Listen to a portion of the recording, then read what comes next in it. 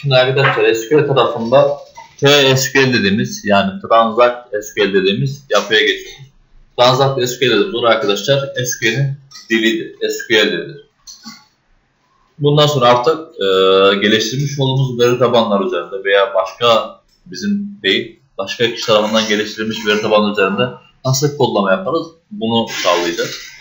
Zaten SQL'de sonra da adı geçtiğimiz zaman veri tabanından veri çekme işlemlerini, daha sonra kullanıcının girmiş olduğu bilgileri veri tabanına aktarma işlemlerini yine bu SQL kodlarıyla yapacağız.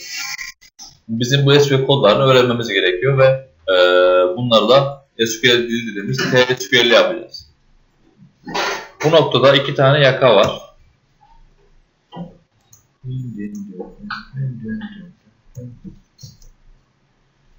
DML ve DDL dediğimiz arkadaşlar iki tane yapı var.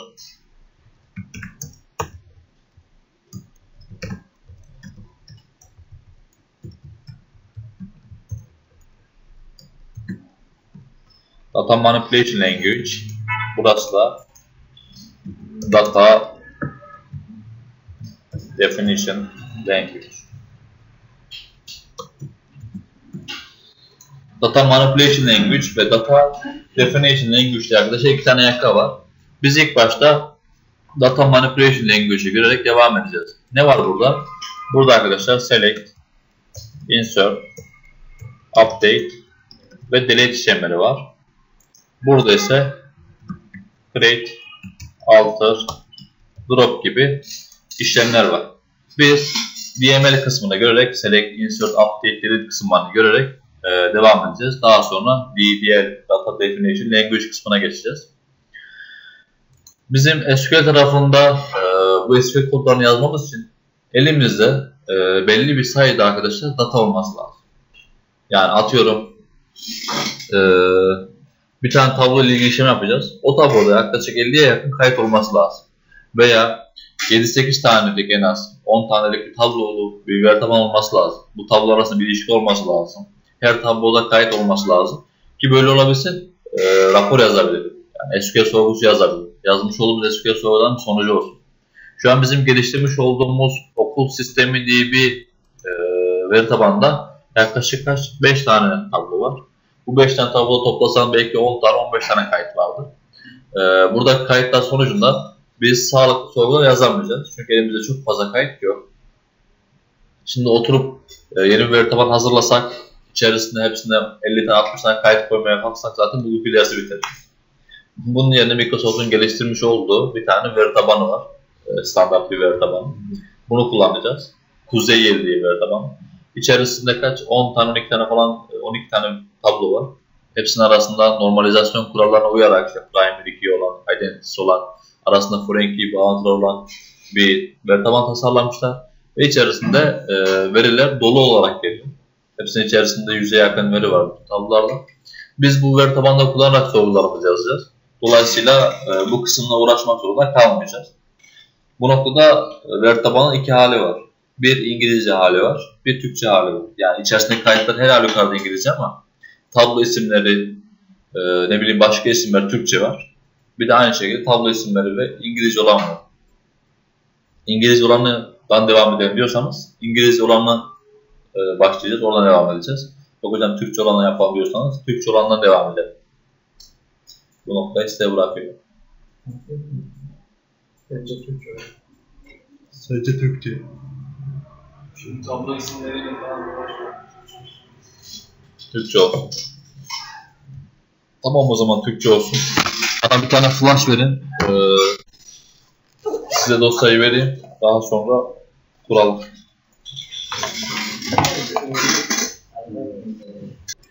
Hepimiz dosyaları aldıysa arkadaşlar üzerine çift tıklayarak açıyoruz. Ha. Ne? Direkt çift tıklayarak açıyoruz bu şekilde SQL'i.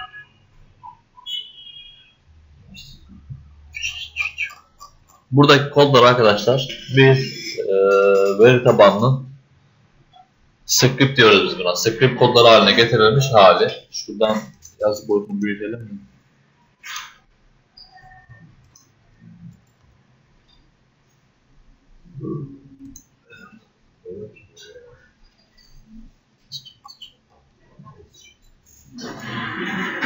Açtık mı bu ekranı?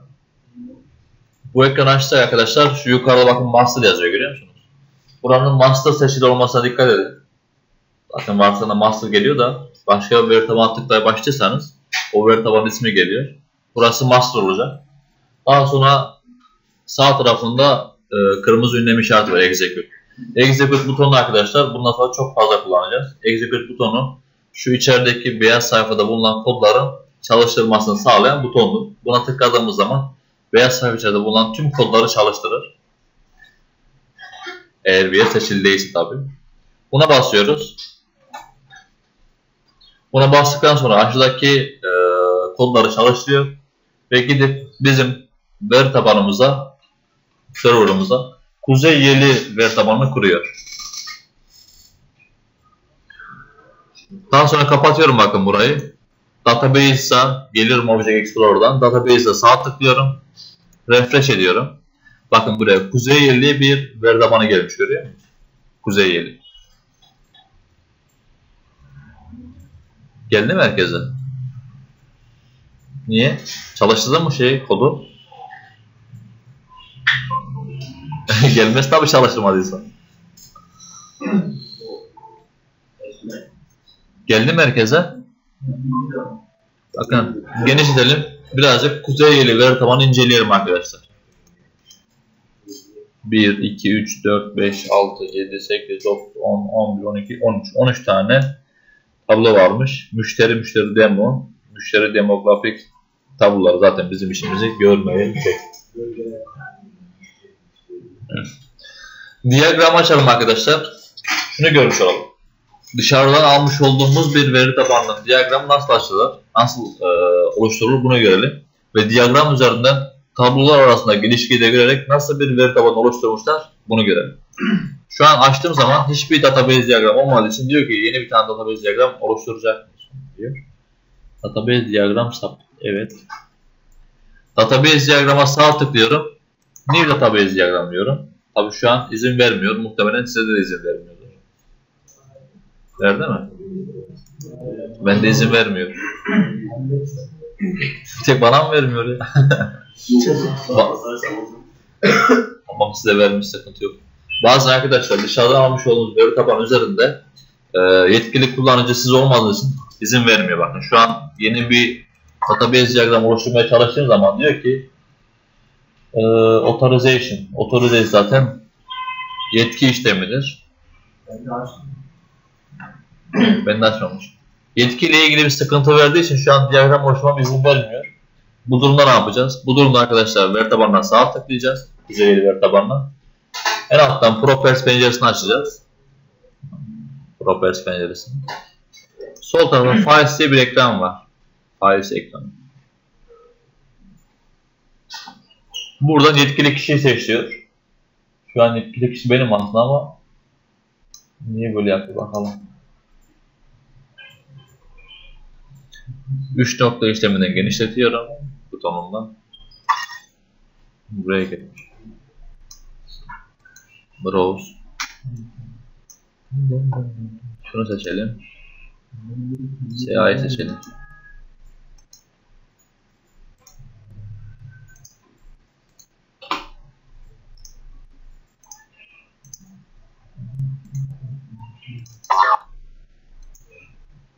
İzin vermiyor herhalde.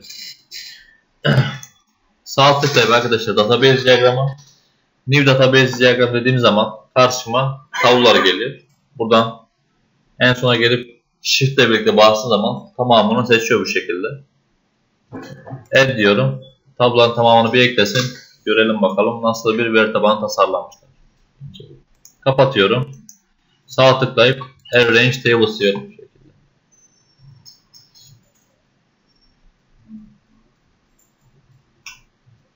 Tercihinde kendi üzerine koyuyor. He? Tercihi kendi üzerine koyuyor. Nasıl? Hmm. Ha, kendi kendine yapmış. Soy ad değil. Fotoğraf notlar bağlı çalıştığı kişi için yapmıştır ya. Bağlı çalıştığı kişi diye bir alan var ya. Nasıl yapmıştır? Bakın arkadaşlar ne yapmışlar? Ürünleri tutmak için ürünler diye bir tane tablo açmışlar. İçerisine ürün ID diye bir alan koymuşlar. Ürün ID.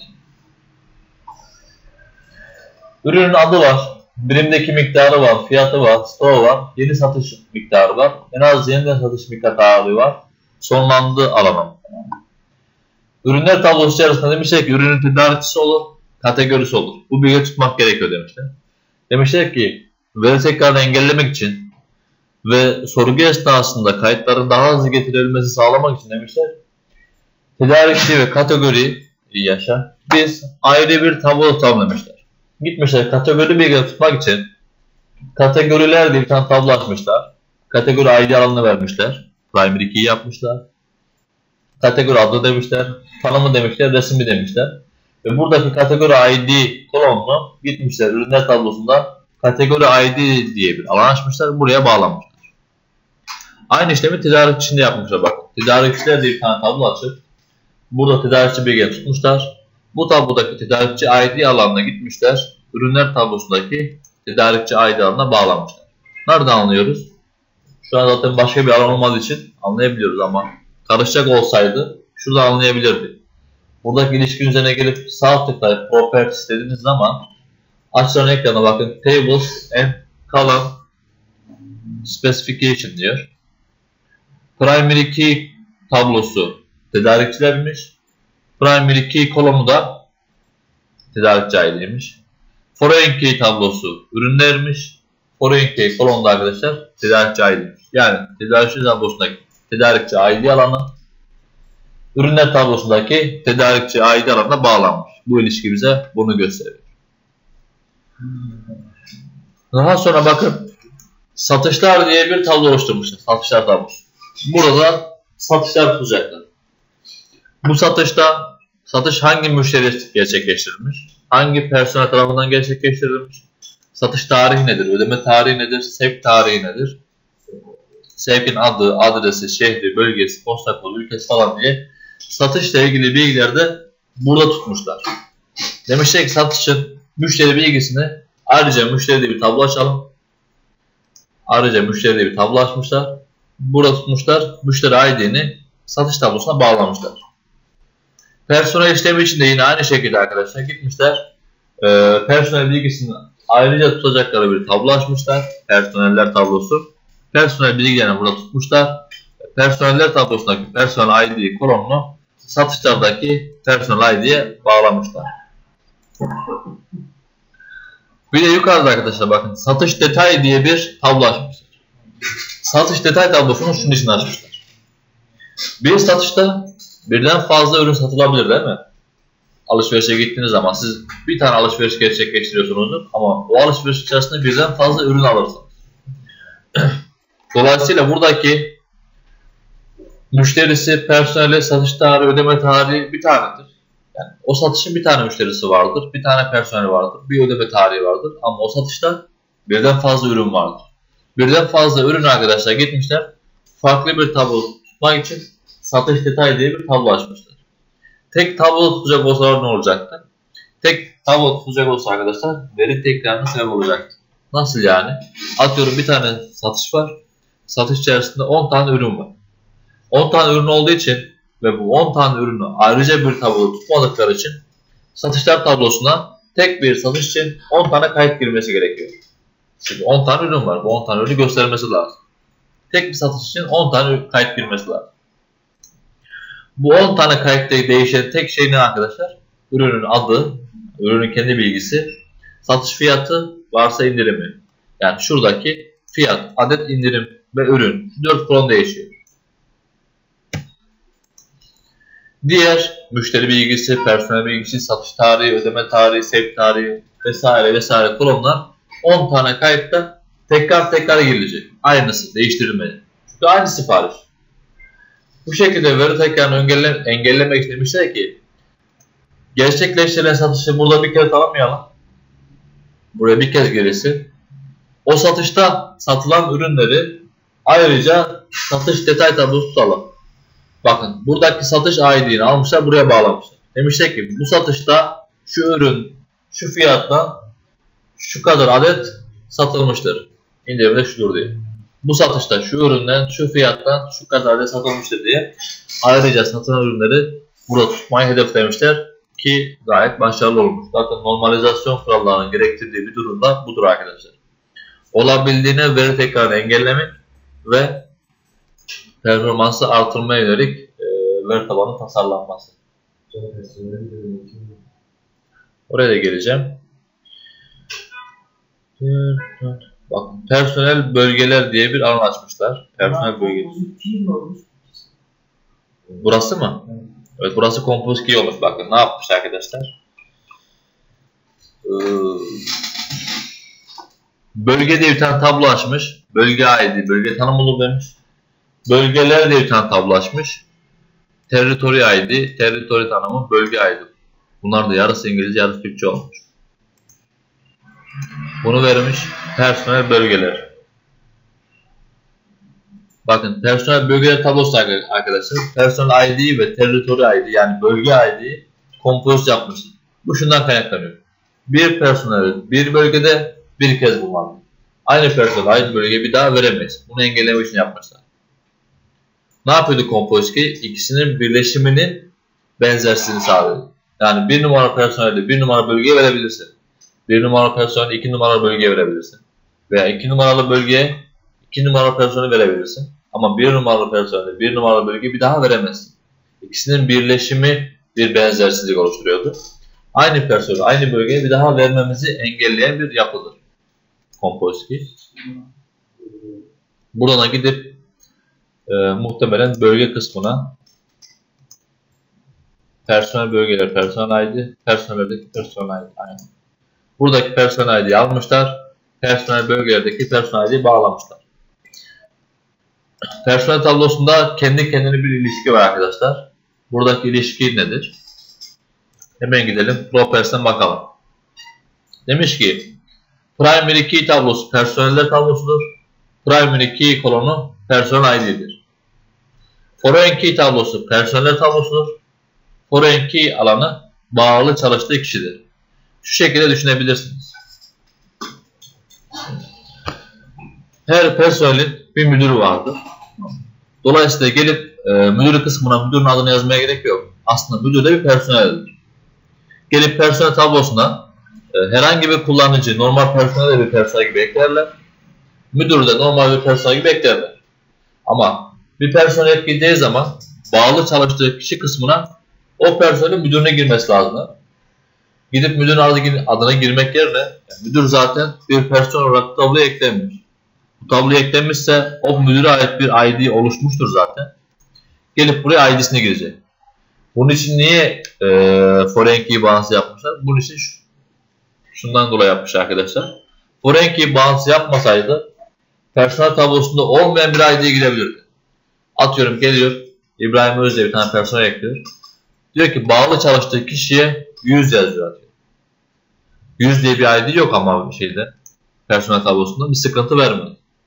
Şu bağlantı yapmasaydı. Çünkü bilmiyor 100 diye bir kullanıcı var mı, personel var mı yok bilmiyor. Ama bu foreign key bağlantısı yaptıktan sonra buraya gelip 100 girdiği zaman foreign key bağlantısına ötürü şu işlemi yapar. Alır oradaki 100 değerini personel tablosuna bakar. ID'si 100 olan bir personel var mı diye. Varsa sıkıntı çıkarmaz. Ama ID'si 100 olan bir personel yok der ki yazmış olduğum değere ait bir personel bulunamamıştır diye hata verir. Dolayısıyla bizim oraya 100 yazmamıza izin vermez. Bu yüzden personelin kendi içerisinde bir key bağlantısı oluşturulmuştur. Her personelin e, bağlı çalıştığı kişi yani müdürü diye düşünebilir. Bu tutulmak amaçlanmıştır. Yani mesela burada bir değişiklik yok. ya. Orada bilgisayar atmışsın ya. Orada değişiklik olur mu? Şeyde mi? Kodda mı? Yani mesela herhangi bir değişiklik. Yok kodda bir değişiklik olmaz. Yani burada istediğin kadar değişikliği yap. Kodda bir değişiklik olmaz. Peki Yap. dosyada değişiklik olur. Mesela burada bir tabloya değişiklik atıyorum. Hı hı. O şeyde aldığımız dosyada değişir mi? Değişmez. Orası ilk aldığın halinde kalır. Eğer o halini tekrar yakalamak istiyorsan bunu silersen onu bir daha çalıştığı zaman ilk hali gibi gelir. Ama atıyorum burada tedarikçe sildin ya. Tedarikçe silinmiş halinin sana kodu lazımsa o halinin kodu çıkartabiliyoruz. Onları zaten göreceğiz ilerleyen zamanlarda. Ama burada yapmış olduğum değişiklik dosya değişikliği gerçekleştirmez. Başka kaydettiğimiz şey başka mı kaydettiğimiz? Başka bir dosya. Bunu mu? Bunun dosya haline Bu dosya halini hemen göstereyim şekilde arkadaşlar. Bir adet Windows gezgini açarak bilgisayarıma gidiyoruz. Buradan C'ye gidiyoruz. Program Files diye bir klasörümüz var. İçerisinde arkadaşlar Microsoft SQL Server diye bir klasörümüz var. Burada MS SQL 11.MSSQL Server diye bir klasörümüz var. Bende SQL Server 12 sürüm olduğu için klasörün ismi bu şekilde. Buna giriyoruz. İçerisinde MS SQL diye bir klasörü var. İçerisinde arkadaşlar bizi en çok ilgilendiren alanlardan backup ve data klasörleri var. Data klasörleri sizin kendi bilgisayarınızdaki serverda yani şurada Management Studio'da oluşturmuş olduğunuz şu veri tabanlarının dosya hali bulunur data kısmında. Bakın içerisine girdiğiniz zaman b404 giriş.mdf b404 giriş alt log .ldf diye bir tablo var. Giyotin var. Kuzeyli var. Okul sistemi DB var bizim geçen oluşturduğumuz. Bir de ayrıca stok takip var. Diğer veri tabanları Management Studio zaten kendi oluşturmuş olduğu veri tabanları. Yine kendi veri tabanlarının dosya halinde orada. Buradaki MDF dediği arkadaşlar, MDF dosyası dediği tablo içerisinde kayıtlar var ya, bu kayıtların e, ve tabloların tutulduğu e, bir dosyadır, MDF dosyası. Buradaki log dosyası dedi arkadaşlar, log dosyası. Log dosyası da kayıtlar üzerinde yapılan işlemlerin e, kaydının tutulduğu. İşte şu tabloda şu kullanıcı tarafından insert işlemi yapıldı, select işlemi yapıldığı gibi kayıtların tutulduğu bir dosyadır. Bu ikisi arkadaşlar, log dosyası ve MDF dosyası. Bu ikisi. Bir veri tabanına aittir. Biraz önce yapmış olduğumuz işlem vardı ya, SQL kod dosyasını aldık, SQL'de açtık, çalıştırdık, veri tabanını kaydettik. Elimizde o veri tabanının kod hali olduğu için bu işlemi yaptık. Eğer elimizde o veri tabanının şu şekilde MDF ve LDF dosyaları olsaydı bu dosyalar sayesinde de yine aynı şekilde gidip arkadaşlar ee, kendi bilgisayarımızdaki server'a kuzeyini kurabilirdik. Elimizde script dosya olduğu için onu yaptık. Yine MDF dosyalarıyla e, veri tabanı kurma işlemini de göreceğiz. Bir de backup diye bir alanımız var. Backup da arkadaşlar bak uzantılı bir dosyadır arkadaşlar. Bir veri tabanının e, MDF dosyası gibi yine bir dosya haline dönüştürmesi sağlayan bir yapıdır. Bak uzantılı. Nasıl script dosyasıyla, MDF dosyasıyla veri tabanını ekleyebiliyorsak serverımıza yine bak dosyasında bak dosyası yardımıyla da veri tabanımıza bir e, server'a bir veri tabanı ekleyebiliriz. İlerleyen zamanlarda kendi veri tabanımızın bak dosyasını nasıl oluştururuz, script dosyasını nasıl oluştururuz veya bir bak dosyasını, MDF dosyasını kendi serverımıza nasıl attach ederiz bunların hepsini göreceğiz zaten. Dosyalar burada tutuluyor. Hemen orada. Çalışıyor. Bugün bol bol kullanacağız.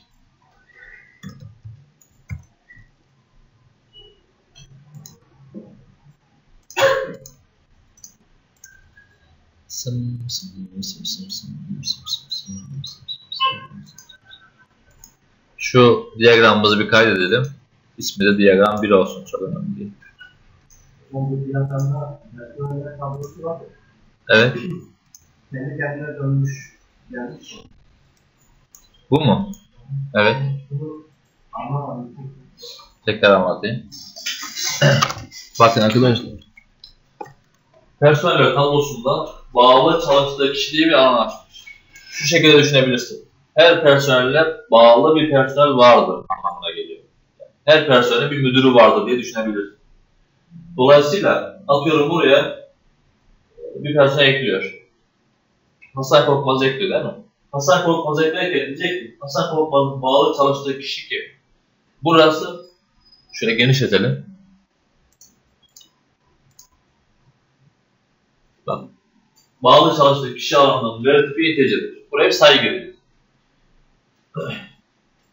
Aslında buraya bağlı çalış, çalıştığı kişi aidilese daha anlaşılır olur. Bu şu anlama geliyor. Bağlı çalıştığı kişi zaten buraya personel olarak, personel olarak eklenmiştir daha önce tabloya. O kişinin ID'sini al, buraya gir anlamına geliyor. Oraya bağlısı yapmasak da personel tablosunda tamamlanmış olan, daha önce tamamlanmış olan bir kişinin ID'sini alıp biz buraya girebiliriz. Ama şöyle bir sıkıntı olur. Atıyorum Hasan Korkmaz kullanısı buraya ekliyorum hemen.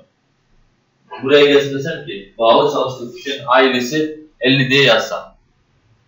Eğer şu foreign key ilişkisini yapmasaydım buraya yazmış olduğum e, 50 numarası personel tablosuna var mı diye bakmazdı. Yani ID'si 50 olan bir personel var mı diye bakmazdı. Varsa da yoksa da kaydederdi. Yoksa şöyle bir sıkıntı var. Olmayan bir personeli bağlı çalıştığı personel diye göstermiş. Bu bir sıkıntı. Ama ben burada foreign bağlısı yaparak şunu sağlamış. Demişiz ki sen buraya gelip bağlı çalıştığı kişi 50 yazdığın zaman gidecek personeller tablosunda ID'si 50 olan bir personel var mı diye bakacak. Varsa sıkıntı yok. Buraya 50 yazıp devam edebilirsin. Ama personel tablosunda ID'si 50 olan bir e, personel yoksa yani öyle bir personel tamamlanmamışsa senin buraya 50 yazmana izin vermez. Öyle bir personel yok. Burada ne yapıyor? Burada kalan tutuyor, sürüklüyor, getiriyor, buraya bırakıyor. Buraya bıraktığı zaman personel tablosundaki personel ID alanına yine personeller tablosundaki bağlı çalıştığı kişi ID alanına bağlayabiliyor. Bizim geçen hafta yapmış olduğumuz veri tabanında e, böyle bir şeye ihtiyaç duymadığımız için yapmadık. Ama e, ihtiyaç duyulduğu zamanlarda bir tablo içerisinde kendi kendine bir foreign bağlantısı bu şekilde gerçekleştirebiliyor. Çok fazla kullanılan bir yapı değildir zaten. Çok fazla ihtiyaç duyulmaz yani. Kullanılmalı değil ama çok fazla ihtiyaç duyulmaz. İhtiyaç duyulduğu zamanlarda bu şekilde kullanılabiliyor. Bu kuzey elinde şey yapmış, biraz değişimi uğramış. Daha önce kullanmış olduğum kuzey elinde böyle bir şey yoktu mesela. Bağlı çalıştığı kişi diye bir alan yoktu. Kendi kendine bir foreign key bağlantısı yapmamıştı. Biraz değişime uğramış. O yüzden. Evet, nakliyeciler tablosu var. Yukarıda bağlı olduğu yerde ayrı yok. Ship VL diye geçiyor bakın. İlişkiye sağ tıklayıp Properties dersen buradaki Tables and Columns özelliklerinden hangi kolona bağlı olduğunu görebilirsin. Bakın nakliyecilerdeki nakliyeci ID satışlardaki Ship V alanına bağlı. İsmini Ship V'ye vermişler. Yani ismi nakliyeci ID olacak diye bir şey yok, kural yok. İsmine herhangi bir şey verebilirsin. Ship V'ye vermiş. Muhtemelen bu şeydir. Ee, Microsoft bunun Türkçe halini çıkartmamıştır da e, bazı kişiler veya kurumlar diye bu veri tabanının Türkçe halini Türkçe haline dönüştürmüşlerdir. Onlar da işte dönüştürebildikleri kadar. Allah ne verdiyse ellerinden geldiğince dönüştürmüşlerdir.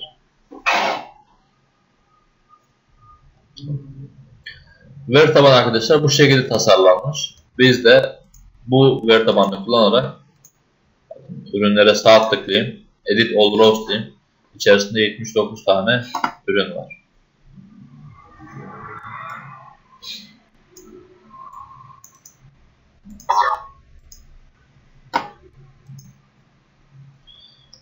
Normalde biz bunları yapacak olsak yaklaşık bugünümüzü bu işleme ayırırdı.